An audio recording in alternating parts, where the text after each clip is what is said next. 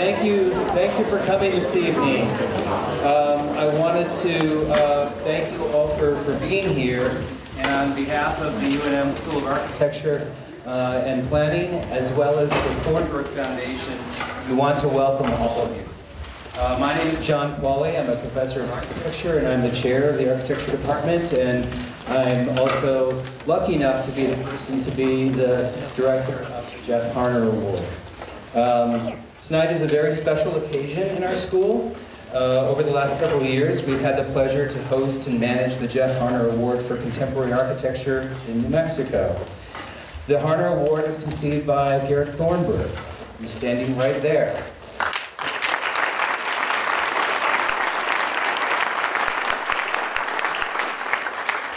And Garrett is an individual who truly believes in the future of contemporary architecture. Garrett is uh, chairman of Thornburg Investment Management, uh, worldwide, it's kind of going in and out here, uh, a worldwide investment company based in Santa Fe, and also chairman of the Thornburg, Thornburg Foundation, tonight's sponsor. The headquarters of the Thornburg Investment Management, uh, uh, of Thornburg Investment Management was designed by noted Mexican architect Ricardo Legorreta. So he's got good taste. um, Garrett is someone who care, who deeply values innovation and is an avid supporter of contemporary architecture. It is through his generosity that we are able to host remarkable guest speakers like Yuko Nagayama.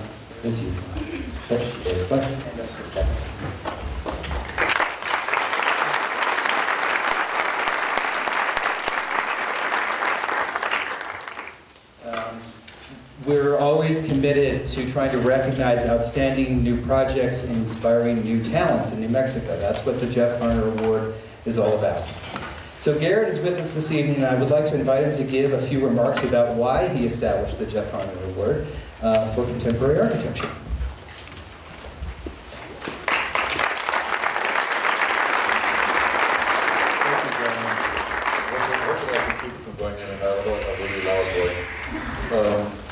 Jeff Harnar designed my house that I live in, and he built it the first time in 1988, and I'm still there. He remodeled and expanded it in 1993.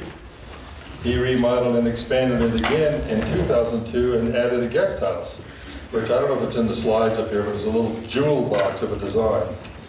And we were, we became really close friends through this process, and we became fly fishing buddies and everything else. And unfortunately, you know, at the age of 51, he had a kidney failure, and he died on the operating table in Colorado. And uh, he was just hitting his stride. He'd done so many remarkable buildings, and he had, like, you're doing this here the first time ever, unbuilt structures. He did an unbuilt structure in Taos Ski Valley that was astounding. I saw the plans for it. I don't remember who was going to build it, but they ultimately didn't build it, but it was like amazing. And so through that, I really came to love contemporary architecture through Jeff and watch him battle with the Historical Hysterical Society in Santa Fe. Uh, and uh, also in Santa Fe, for example, if you drive downtown, you'll see the uh, very famous Anasazi Hotel, which gets all kinds of kudos. That used to be the state securities building. It's a steel frame building. It had metal in the walls inside, you know, like Kojak's offices, green up to the sides. Uh, and I happen to have an office across the street, and I watched them put in the beams at the very top, which they built a two by four frame covered with chicken wire. Then they put in beams that were about four feet long, sticking out, so it looks like it had vigas in this steel building uh, from the street. Even Disney, when they built an Adobe building in Disney World, actually used Adobe.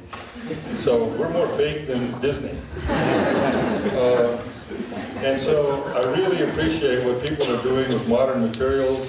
What he didn't mention is our Legorreta office building is another amazing work of art, but it's also a gold green building, uh, which is not so hard to achieve these days. Uh, and uh, some of the innovations in that are amazing, like the floor system with the air heating and cooling under the floor paid for itself in three years. Um, but I really became to appreciate the modern architecture through Jeff and getting the opportunity. I'm really, really lucky. I get to live in and work in two works of art. I like to collect art as well, but I'm telling you to be able to be in those environments is really a special feeling. And I, that's what I so love about architecture, and I go visit buildings all over the world just for the fun of it. So I hope you enjoy this tonight. But I did this in Jeff's honor because I think his career was cut really, really short, and he would have done some more amazing buildings, but we're going to see other people's amazing buildings tonight. Thank you. John?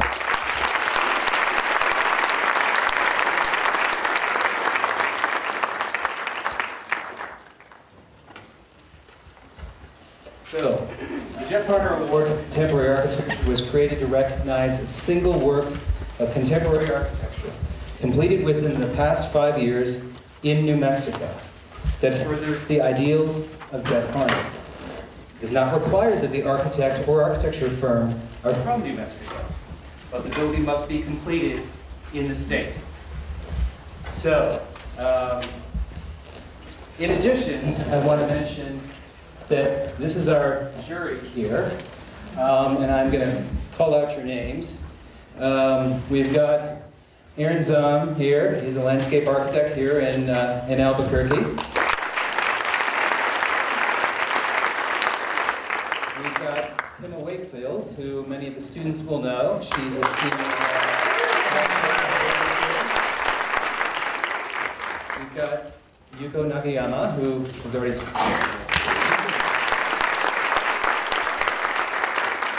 Jury chair, in addition to being our speaker this evening. Um, and then we have E.B. Min, who runs a wonderful firm in San Francisco. And last but not least, we have Corey B., who uh, is uh, and also on the faculty of uh, University of Texas at Austin. So um, the, the, I, the other thing I wanted to mention, in addition to the Jeff Harnar Award, is that we also have added an unbuilt category this year, and I just want to give you a little background on that, and then we're going to announce the winners. So um, a year ago, Executive Director Jen Fenstermacher, where's Jen?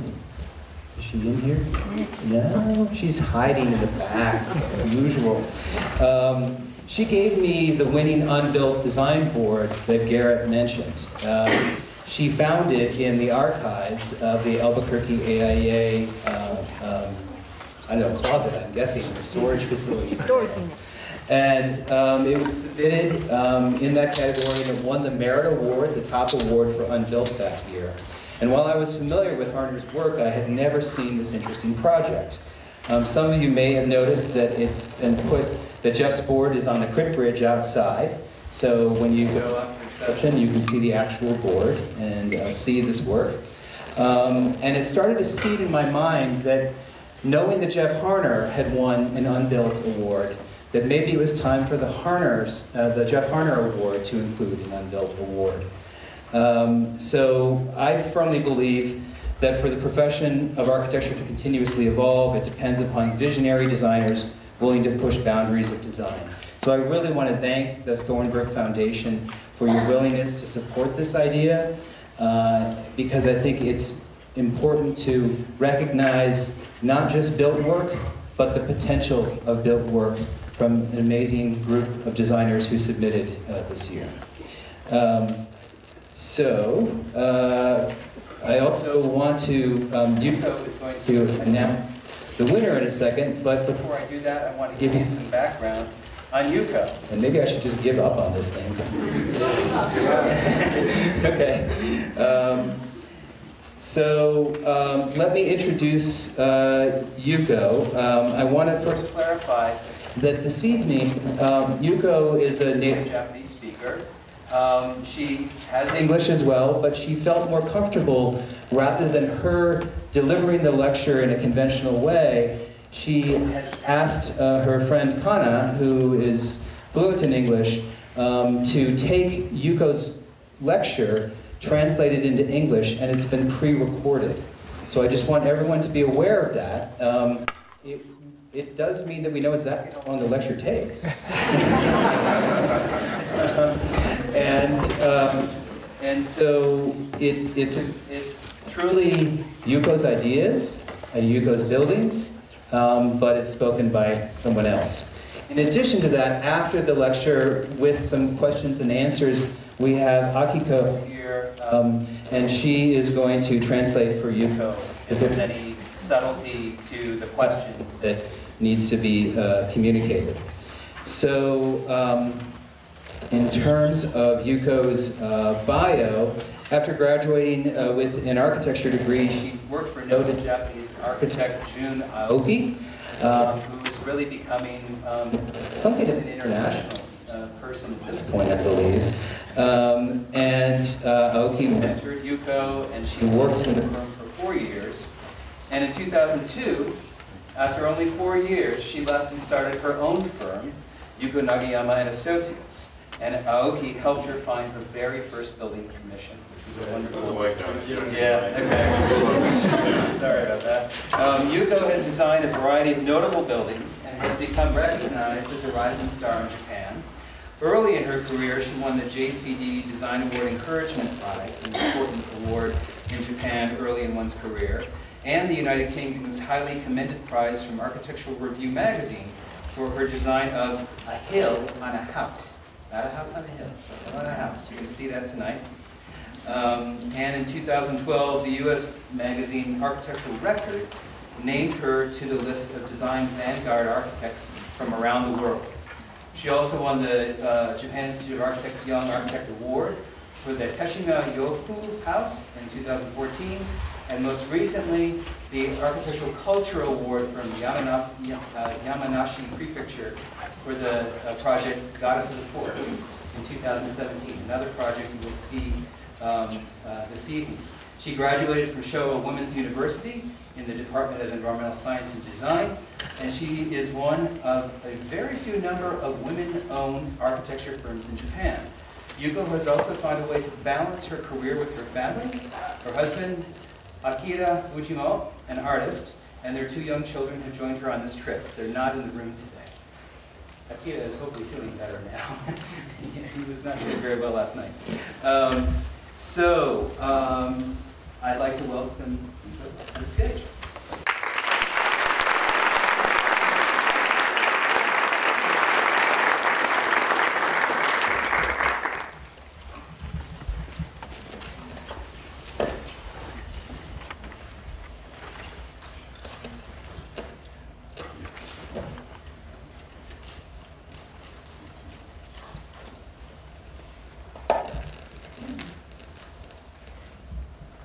Go ahead and test.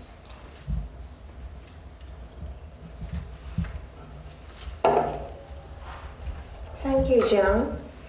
Thank you for inviting me to the University of New Mexico.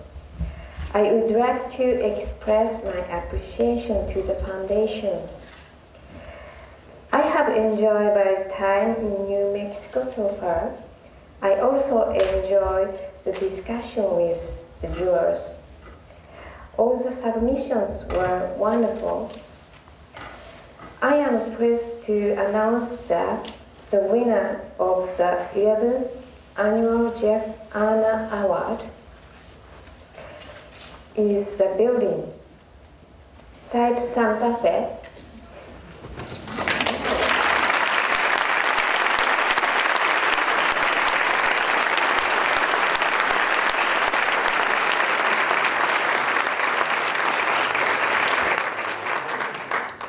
Designed by Shop Architects of New York City. Congratulations.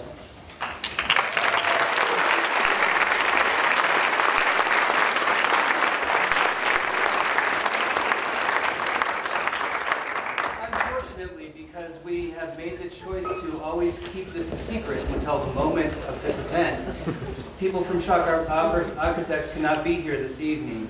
Um, However, I believe that there are two representatives client that are with us in the audience. Is that correct? Yes, please come on down.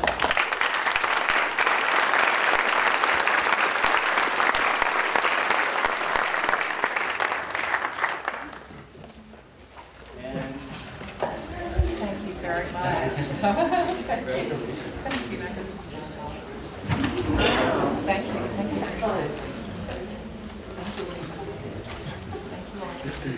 you So we'll, we will do an informal picture now. But formally, at the end, the winners have to stay here and come down at the end. So you should stand there in the middle and the bridge should be around you and I'm gonna go off to the side.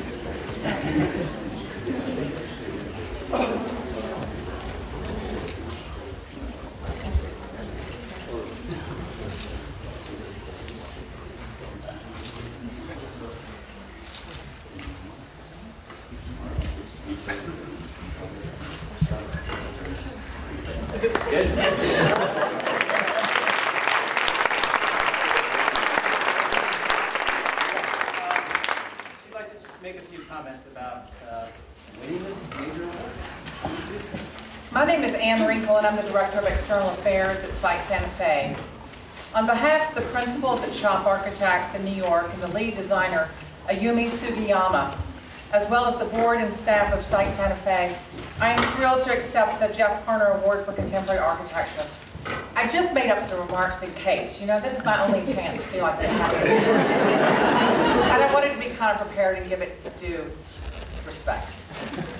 Uh, Shop Architects has created a bold, iconic design to allow Site Santa Fe to showcase the world-class contemporary art in its newly expanded and enhanced building in the Santa Fe Rail Yard District.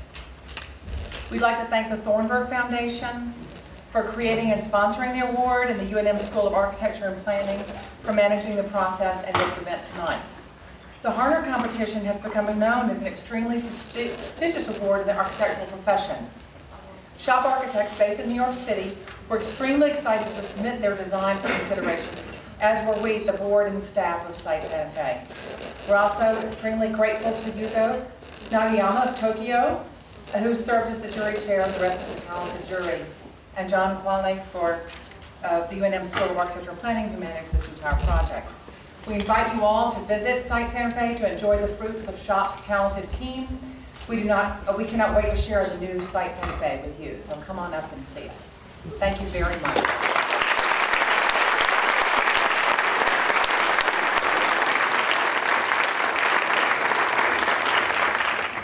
So um, I'd like to Aaron Zahn and Evie Min. No, I'm sorry, no. Emma Wakefield and Greg Lee. Sorry, I got it in wrong order.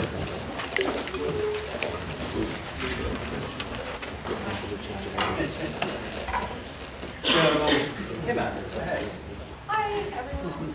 Um, gosh, we had some rough morning today trying to decide who the winners would be. I mean, it was a really talented group of entrants, and I was really happy to see that there were many students who submitted their work for the unbuilt cat category, as well as faculty and professionals from the area. Um, we actually looked at the project for several hours. There were quite a lot of submissions. And the winner, I got the easy job, I got the fun job. So the winner of the unbuilt architecture category is Vertical Cemetery for Extinct Species by UNM Master of Architecture student Darby Prendergast.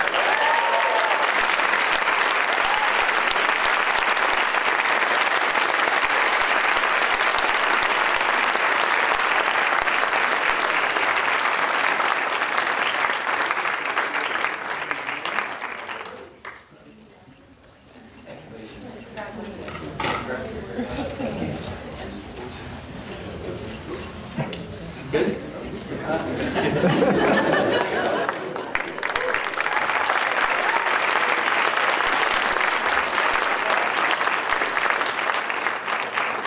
now I'd like to welcome landscape architect Aaron Zahn and Evie Min, architect from San Francisco, to announce the Jeff Harnar Awards for Unbuilt Landscape.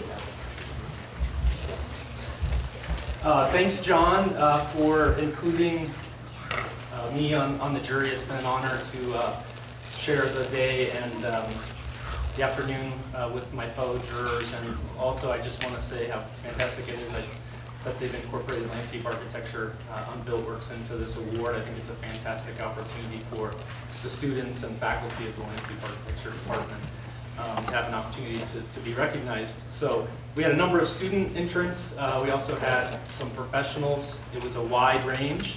So we actually had to spend quite a bit of time deliberating because it was it was sort of fun to uh, compare and contrast what were um, very disparate works um, in this category. So with that, The winner is Murchison Rogers Park, designed by Surrounding Studio.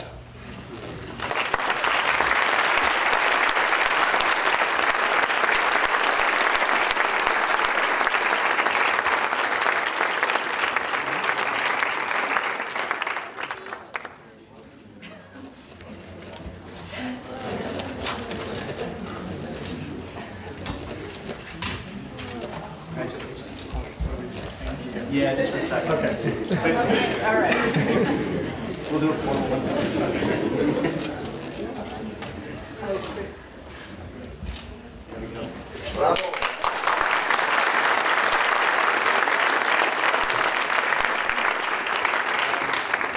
So, thank you all, and now is the time for us to listen to the English translation of Yuko Nagayama's lecture on her work. The title of the lecture is Architecture as a Trigger. Please welcome Yuko back.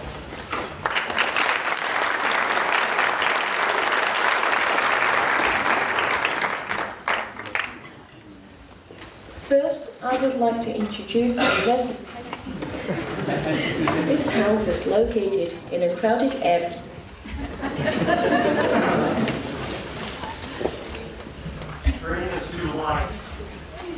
So, yeah, we're gonna turn it uh, once she gets the.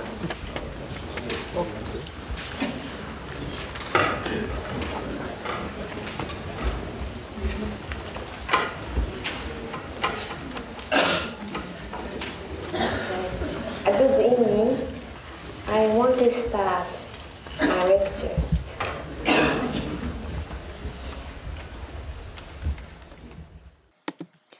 First, I would like to introduce a residency project called Nishiazabu House, which had a theme of blankness found in a path. This house is located in a crowded area in the center of Tokyo, facing a narrow closed private path. As you can see, the house is consisted of two blocks. The left is made with glass and is designed as a public space. The block on the right is a closed private box. The public box is constructed by steel structure. The private box is constructed by reinforced con concrete. The uniqueness of this project was that within a crowded residential area, you can see the sky through the building, like a blank blank space suddenly appearing within the cramped houses. In the daytime, actually, the glass reflection and vegetation prevents eyesight from outside. You can't see as much as you would think the glass block would allow. In front of the house, across the road, there actually is another building with a white wall standing quite closely, but because of the white color and the vegetation, it seems as though this house has a nice garden in front of itself.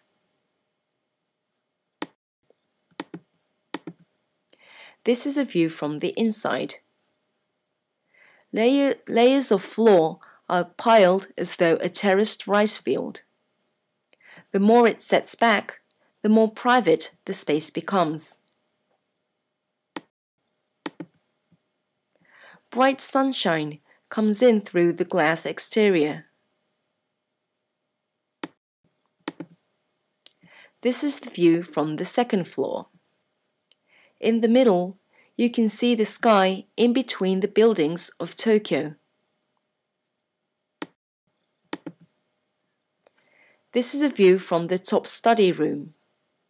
It gives a unique perspective, as though you were looking down at your own house, within your house. This is the view looking up from the ground floor. Now, usually, a space surrounded by glass is actually very difficult to handle because of direct, direct sunlight, heat, and etc. We solved this problem by using a special kind of glass. Please see the color of the glass on the ceiling. It can change its color and characteristics according to the outside condition. It is called sage glass and is recently being used in many places, for example, the glass windows of aircrafts. It can prevent sun ray at 99%, and by preventing sunlight, you can protect the environment of the interior. This is a photograph of the exterior at night.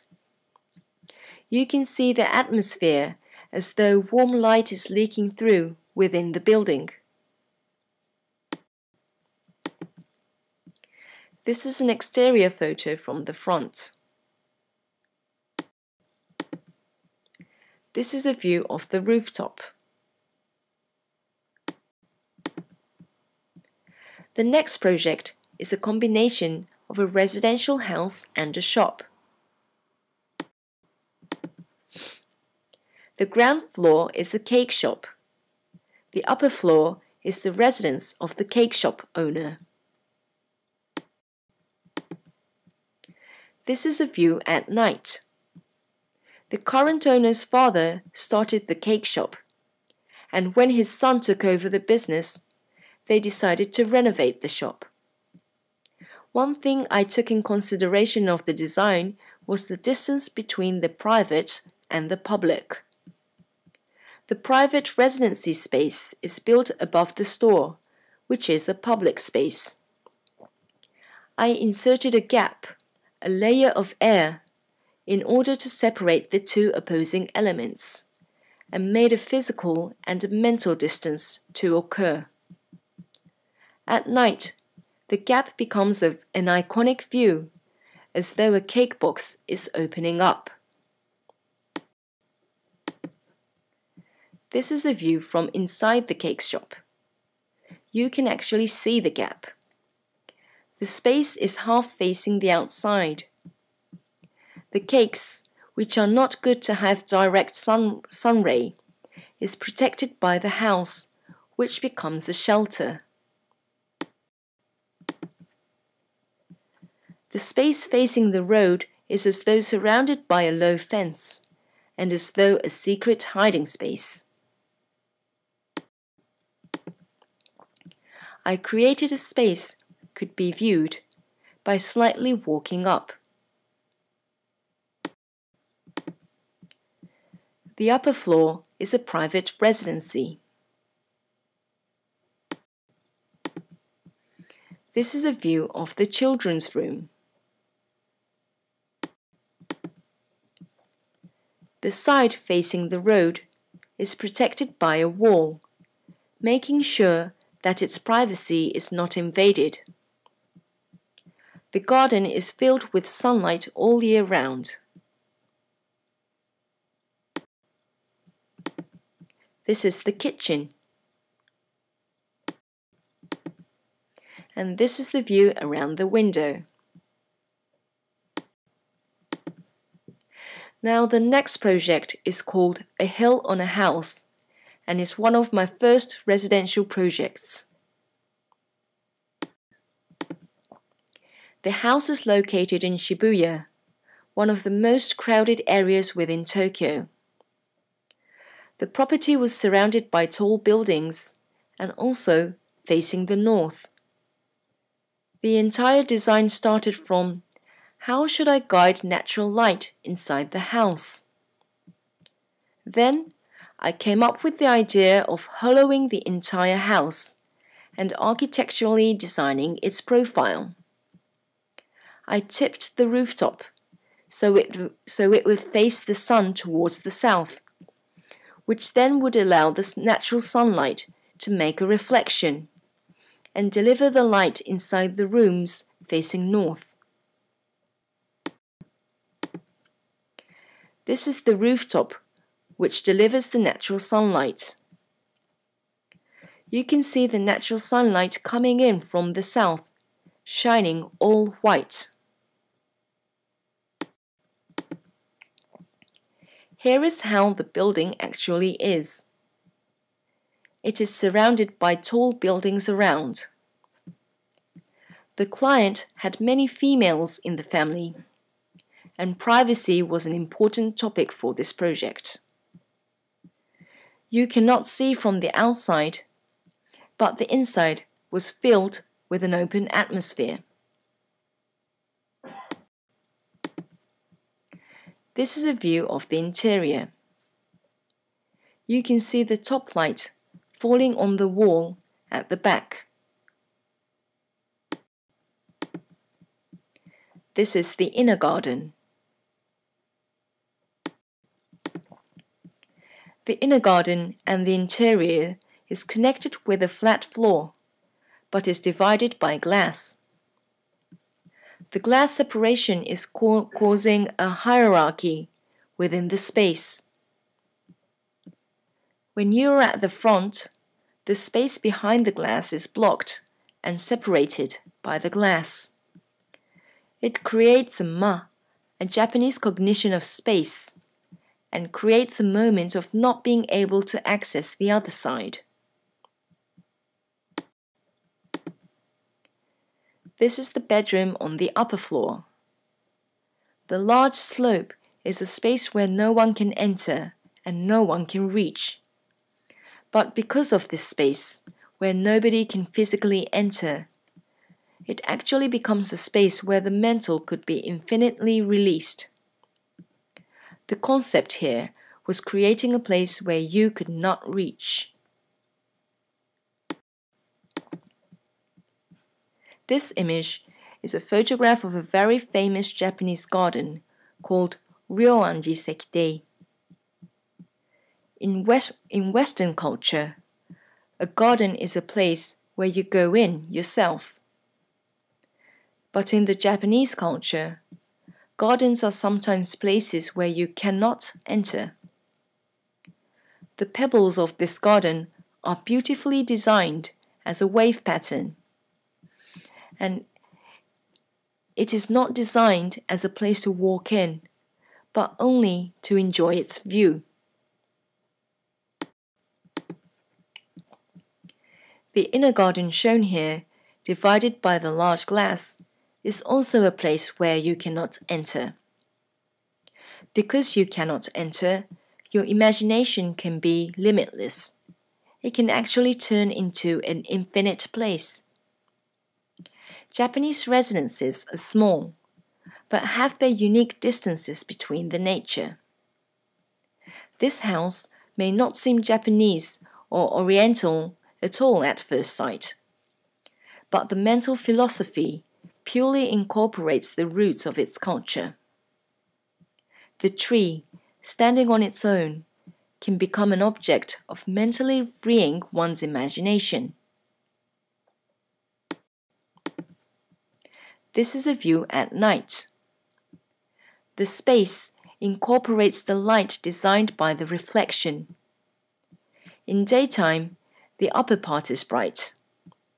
At night, the opposite part becomes bright by the reflection.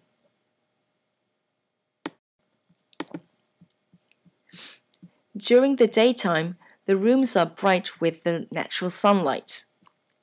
And at night, the artificial lights make reflections and maintain the interior bright. After three residential projects, I would now like to show more of my public projects. Also, Soup Stock is a restaurant specializing in, in soup. I designed this restaurant in Jiyugaoka, Tokyo. One of the characteristics of this area, Jiyugaoka, is its very nice atmosphere. There are many lovely and uplifting flagships on the street, and the location of this restaurant is right on the corner of its main street. People walking on the street of Jiyugaoka have an atmosphere of enjoying their uplifting time. This is the completed exterior view you can see the property is nicely on the corner of a lovely road. This is the exterior from the side. The main concept of this project was to make a vertical structure filled with an joyful open atmosphere which would resonate and exemplify the area of Jiyugaoka. Everything is visible from outside, and also the seated area on the first floor has its ceiling open up to the second floor, and the seated area on the second floor has its ceiling open up to the rooftop terrace. The seated areas are vertically designed as a nested structure. Another feature of this project are the original window frames. Many people like this view of the many open windows. In order to create this open space, I placed all the technical machineries in the grey box on the right. Air conditioners have outdoor units and indoor units. I created an outdoor environment inside the upper half of the grey box, and then an indoor environment on the lower half of the grey box. And I hid all these mechanical machineries that I did not want to leave visible in the open area. This is a view from a different angle. You can see the many open windows. From the outside, you can look straight in both the first and the second floor. This is the view from the second floor. You can see both the terrace seats above as well as the table seats on the first floor. This is a view from the stairway towards the terrace. It gives you it gives you the whole perspective of the project you can see the outside public road on ground level and the first floor seats. This is looking down from the second floor. The road is really close by and the window is usually left open. It is designed as an extension of the joyful public road. Sometimes children walking back from school would walk by on this road or when the table is filled with a big group, they may sit on the edge of the table half outside on this public road. This table, half open, half open to public, has become one of the very char characteristic views of this project. This is a view of the open ceiling on the first floor. I placed a horizontal green surface and divided the vertical space into the upper and the lower. The lower is a restaurant, and the upper is an art gallery.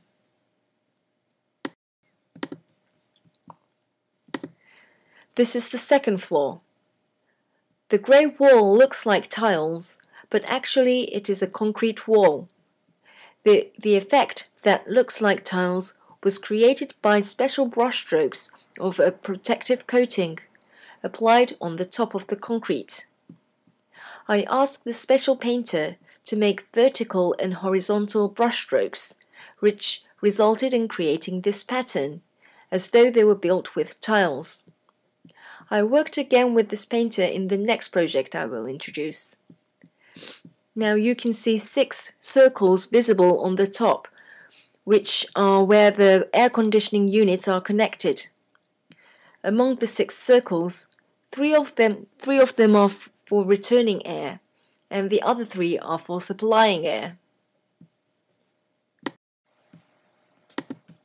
This is the stairway towards the terrace seats.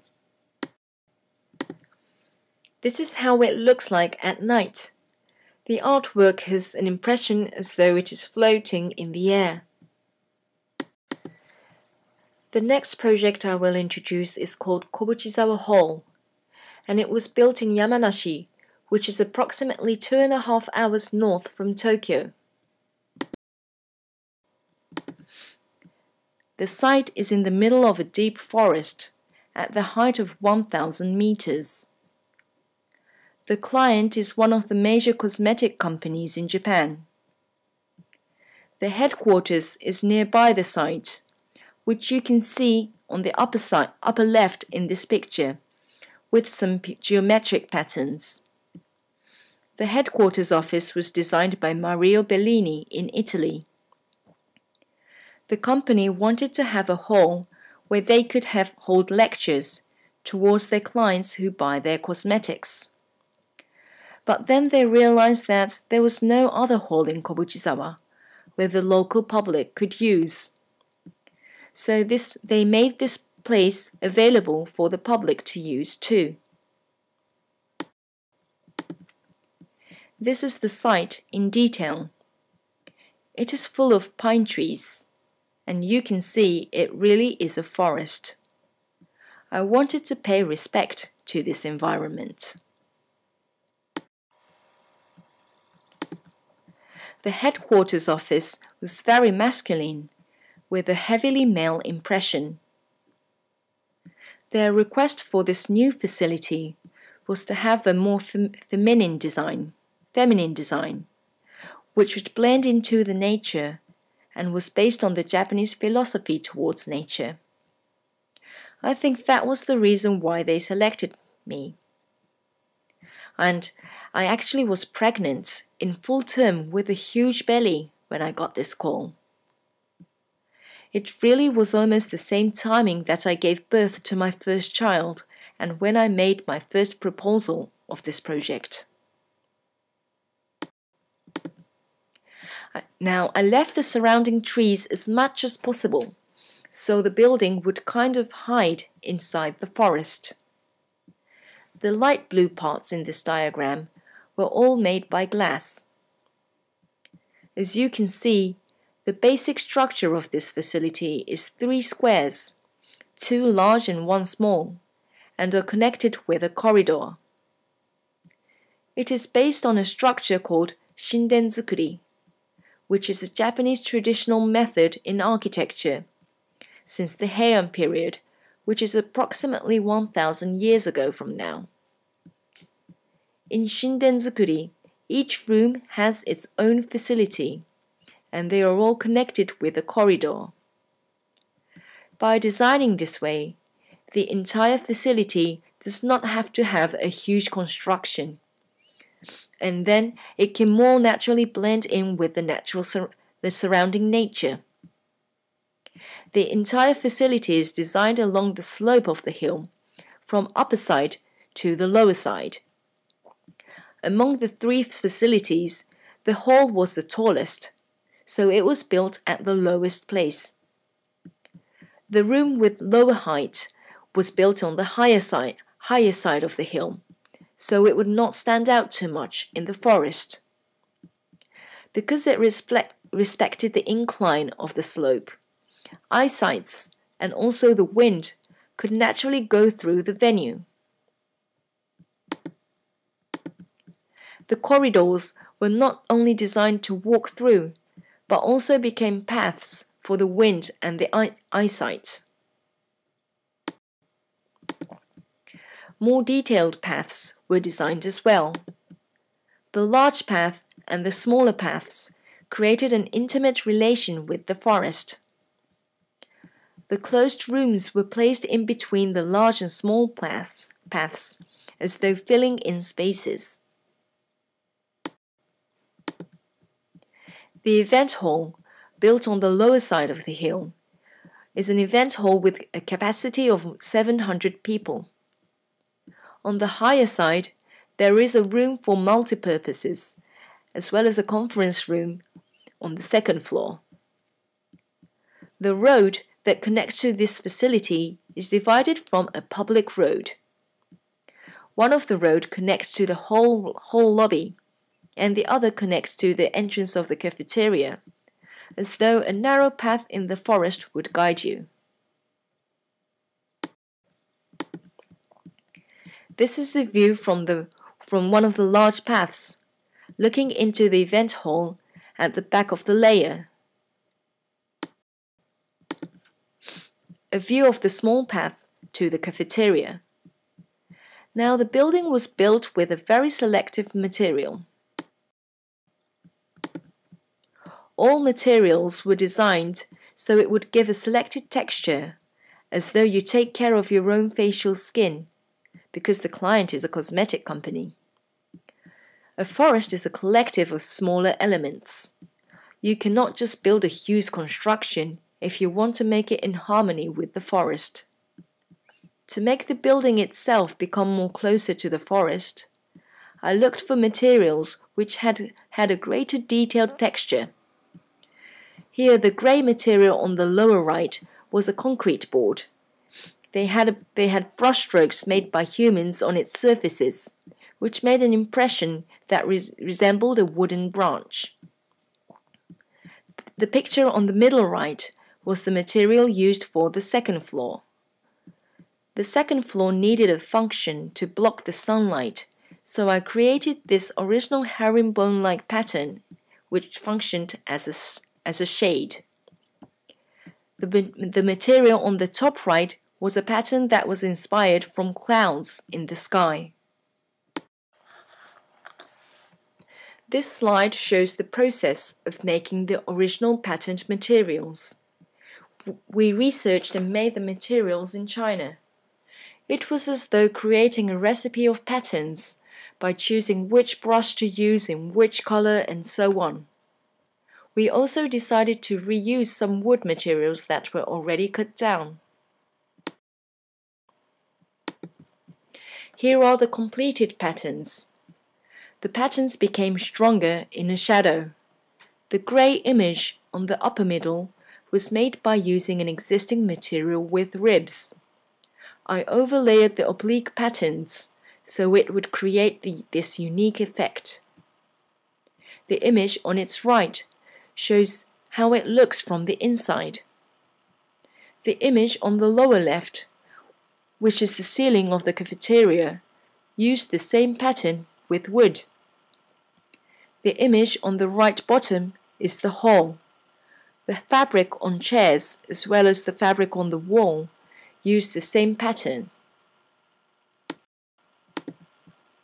This is a view of the exterior. When you step in from the public road, the path divides into two. Now you go into the facility. The corridor towards the hall. And then you reach the hall lobby. The forest reflects on the floor. The, the pebbles used on the floor reflects light, so the forest reflected on the wall will change colors according to the season. Both the back side as well as the front side of the hall is surrounded by the forest. The ceiling reflects the forest as though the surface of water shows reflection. This is the cafeteria. This is also the cafeteria. The ceiling has the original pattern using recycling wood. It seems as though the facility is floating in the sky when you look up from the road outside. This is the corridor outside. This is the shade on the upper floor. It not only shades the sunlight, but also the strong existence of the large hall in front. It is very common in Japan that you cannot see the whole perspective of the building. Here, the perspective of looking at the whole exterior is, object is objected by this shade. The next project is a facade design of Louis Vuitton Kyoto. This is the completed view of the exterior, exterior facade. If you look carefully, you can see the street arcade is dividing the upper half and the lower half. This was a very unique and difficult condition to design.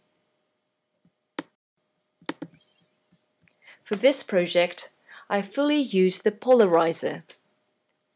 In this sample image, there seems a black surface exists in the middle.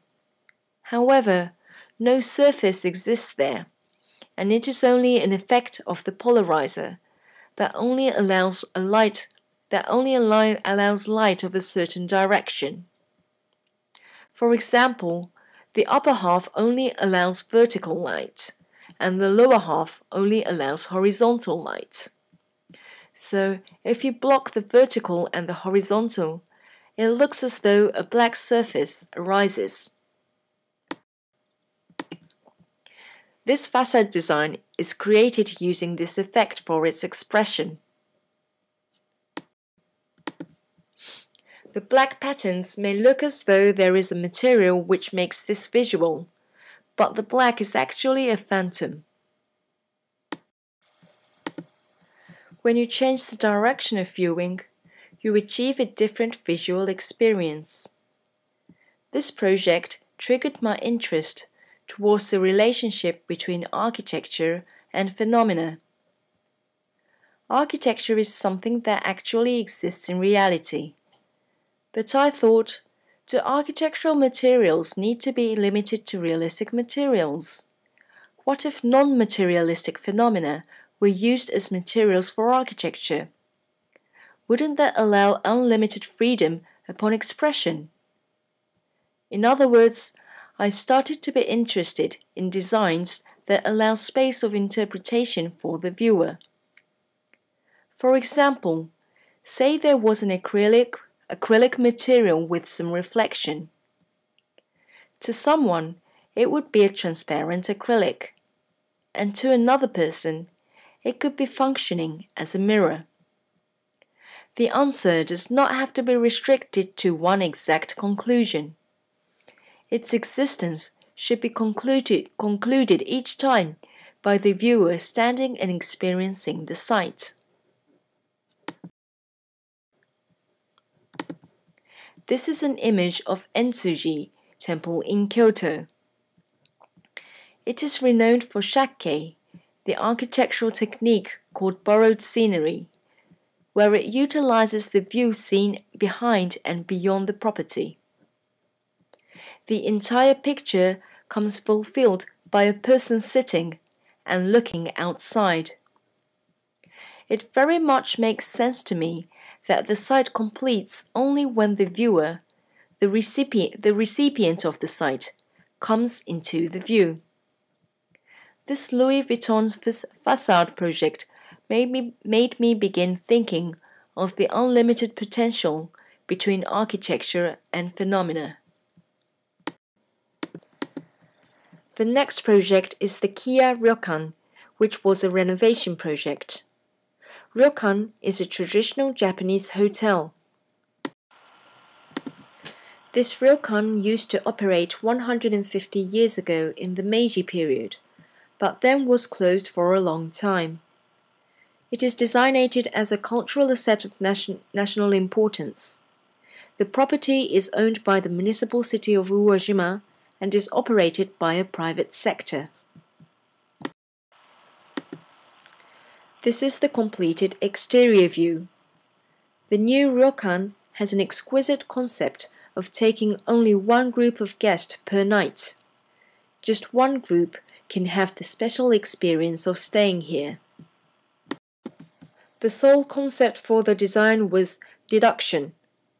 For example, at times, at, at times, I took off the floor. Only one group, maximum of eight people, would stay at this place. There were plenty of existing floors that I could play with, so I decided to deduct some parts of the floor.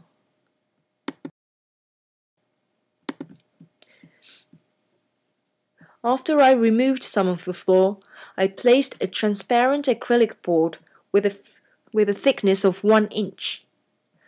One of the characteristics of Japanese architecture is the horizontal direction. Many of our traditional architectures emphasize on the horizontal impression of space. But by deducting some of the horizontal floor structure, the hidden vertical structures, like this, became unveiled. By the act of deducting, I was able to add additional values and allow visitors to experience this hidden value. This is the room where I took out the entire floor and covered with a 1 inch acrylic board. Because it is an important national cultural property, I was not allowed to touch the basic structures, but taking off the surface materials were feasible. This is a view at night. At night, the floor looks as though it is filled with water. Many guests actually prefer to bring their futon beds here and spend the night sleeping on this acrylic board.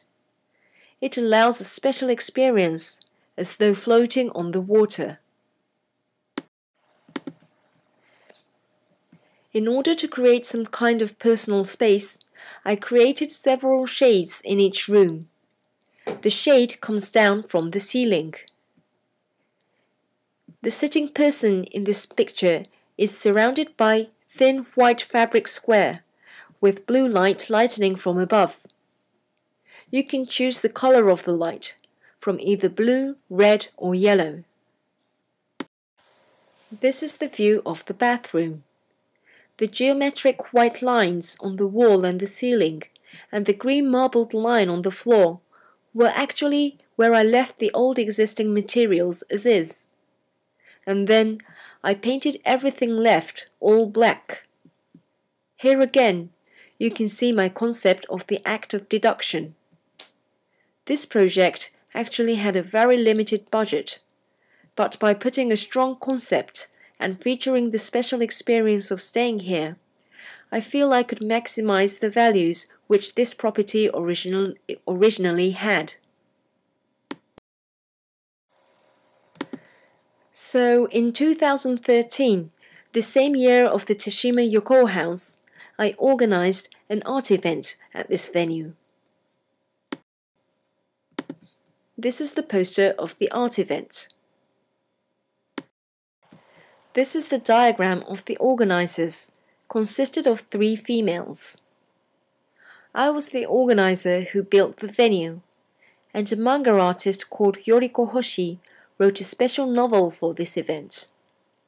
And the artist Tabaimo, who also has the experience of exhibiting at the Venice Biennale, made, made a video work to the story. The collaboration took place by pa passing the button, which I liked very much. Each artist could fr freely express themselves.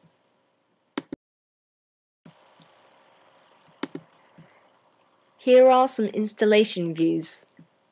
The well on the screen is the collaborated artwork. The title of the novel was A Stain of Kiya. In the story, a family visited Kiya and spent one night. We placed some images based on this story in places through, throughout the venue. The shadows on the top is actually a video work and it is not a window. We also placed a screen on the hollowed ceiling. This is a view from beneath the acrylic floor. This is the night view. The art event ran for a month, and during that period, the hotel accepted guests as usual. This meant the group who could stay who stayed here could enjoy all the art artworks for themselves during their stay. We opened the place to the to the public in the daytime. This is a screen of a creature from the shoji window. During the exhibition period, there was another group exhibition happening as well at a former stationery store. This is its installation view. This is the last project I would like to introduce for this presentation. In a private, it is a private museum of Tadanori Yokoo, a very famous Japanese artist within the contemporary art world. He decided to open his private museum on a small island with a population of 1,000 people. This is the view of the whole site. It consists of a renovation of three existing buildings and a large chimney, which was newly built. This is the landscape view you see when walking straight from the main port. The tall chimney is being an iconic sculpture, standing as the highest construction within the town. This is the view from up front. This is the view when you enter the museum. This red color is the characteristic feature of this project. This is the inside. The concept of the whole project was life and death. The site is within the residential area of a remote small island, which means I built this unrealistic place in the middle of a normal residential area. This entrance of the museum became a boundary of the daily life and the unrealistic. I placed this red glass right on the boundary of these two. The inspiration of the red color came to me right after I gave birth to my first son. Tadanori Yokoo is an artist renowned for his vivid colors. But by forcing this red filter to be seen by every single person entering the museum, I eliminated all existing colors from everyone and turned everything into monochrome color, consisted only of red and black. This effect at the entrance allowed all viewers to reset their visual colors and contact Yokoo's work with a refreshed state of mind when they step inside. You can see the left part of the picture is left in vivid colors, whereas the right part has eliminated its colors. I was very worried when I first proposed this idea of mine to the artist, as I was literally, literally suggesting to delete his artwork. But surprisingly, he very much liked the idea, and actually was very much inspired by, by it. He started making many suggestions like should I place the red glass here or there, and started to create more new paintings. And as a result, about half of the works in the museum became new works inspired by the new museum itself. This is a view when you step further inside. This is the garden. The whole garden is his installation. All garden stones are red, but the color disappears when it is seen through the red filter. For the main building, I made parts of the glass all black. Black glass make a reflection as though a mirror. You cannot look inside from the outside.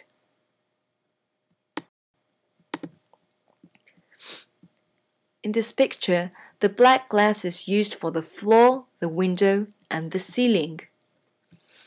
It is as though you were looking outside from the inside of a sunglass. You can clearly see the outside, which is normally too bright to clearly see. And from the outside, you cannot see the inside because of reflection. This is a view of the same room using the black glass on the window, the floor, and the ceiling, seeing from the side. You can see the outside and the sky as though looking through a sunglass. The shadows are weaker because the light has been weakened by the black glass and the room and the room is kind of dim. At the very back, you can see Yokoo's largest artwork. There was a large pillar in this room, which we decided to take out and add steel frames in its surroundings to technically distribute the weight to support the building. This is a view at night. The glass floor is causing a reflection, allowing the artworks to make a huge spatial collage. This is another view showing the glass floor causing reflections of the artworks and making a huge collage. This is the entire exterior view from the garden.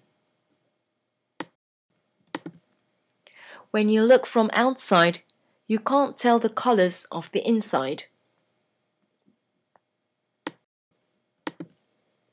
This is the entrance of the chimney. Inside the chimney, there are 9,000 postcards of waterfalls filling the entire wall. On the top and the bottom, there is a mirror, and when you stand there, it feels as though the water well continues forever and ever. This is the close-up view of the postcards of the waterfalls. This is the last exhibition room.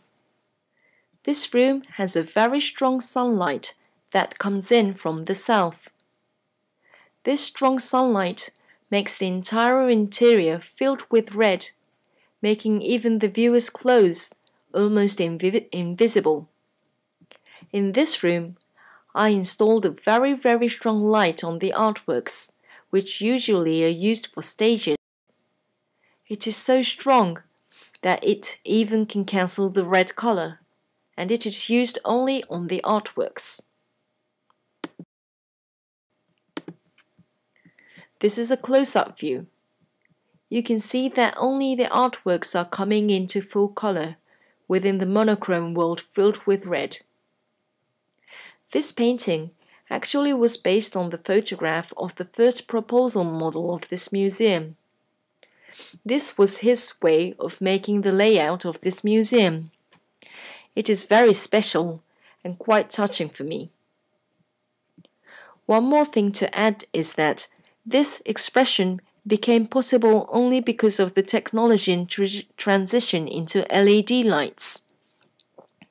These strong lights were not possible to be used for permanent installations before because the strong light would cause too much heat. But because everything transitioning to LED, I was possible to use this as a permanent installation.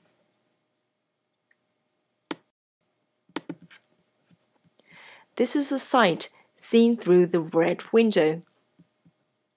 The artwork reflecting on the right can be seen in full color. These are images of the site before our renovation. It was built about 80 years ago, and then it was left abandoned for over four decades. It was heavily damaged when we started the construction, which you can see here. The museum opened during the Setouchi Triennale in 2013. The Triennale had three periods spring, summer, and fall. The museum opened in summer, which meant people who visited the spring edition couldn't see the museum. So we turned the whole construction into a performance and disclosed every part of the construction available to see across the red glass. This is a view of making the tile painting at the bottom of the river which flows in the garden and also bottom of the glass floor in the museum. We did this as a workshop involving residents from children to grown ups, everyone who was interested in attending. The workshop was held in a hall of a junior high school nearby. I wanted the museum to be felt that it was made by the hands by everyone and planned this workshop together with our clients. This is a mochimaki event, a traditional ceremony in Japan where rice cakes are thrown, wishing for good luck when a building is newly built. Again, this was held for the purpose of the museum to be felt that it was for everyone on the island. This last project, the Teshima Yokoo House, also has a 5 minute video, which I would like to show now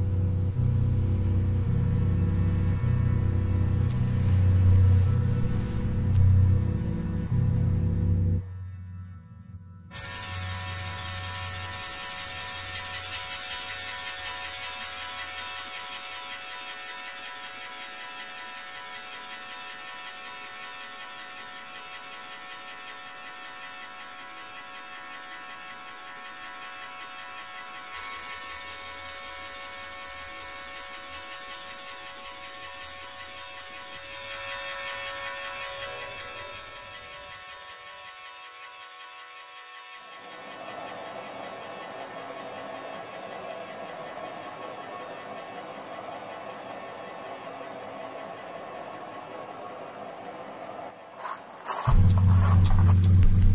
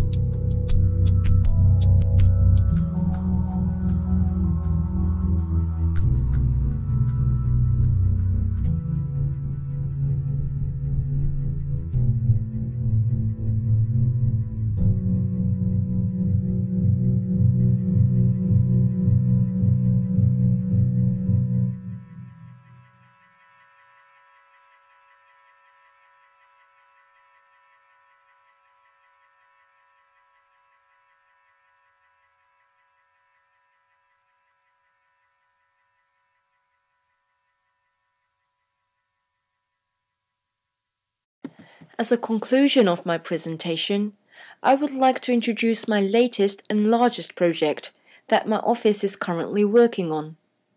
Miranoza is a high-rise skyscraper in Kabukicho, Shinjuku, in the heart of Tokyo. The whole skyscraper will be filled with entertainment facilities, including a hotel, club, cinema, shops, and many others. This is how it will be looking like. The image is a fountain, based on the fact that Kabukicho used to be a pond. In the 50s and 60s, during the recovery and reconstruction after the war, Kabukicho used to aim to be a hub for entertainment in a healthy context. However, after decades, it went through a period of being renowned as a red light district area. The Japanese government now emphasizes in putting strong focus in the entertainment field, as it aims to have strength in tourism, as it believes our culture has a strong potential in that field. This area has very heavy restrictions of building high rises, but this project is specially allowed, allowed by the Japanese government, as it will be a project focusing on entertainment. One of the requirements of this competition was being a female architect. High rise skyscrapers used to have masculine male dominant expressions, but I felt the government is putting focus in making a change. Please do look forward to the completion of this project, which is scheduled in 2022. I hope this place will be functioning as a fountain circulating our existing potentials of culture. Thank you very much for enjoying my presentation.